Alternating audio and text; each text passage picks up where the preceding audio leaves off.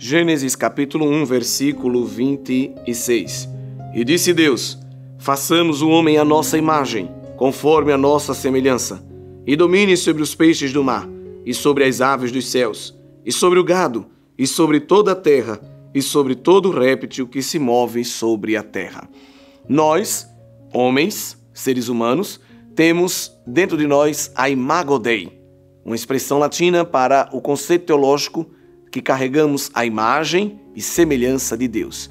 Não no sentido físico, porque Deus é espírito, mas, sobretudo, no sentido espiritual, no sentido moral.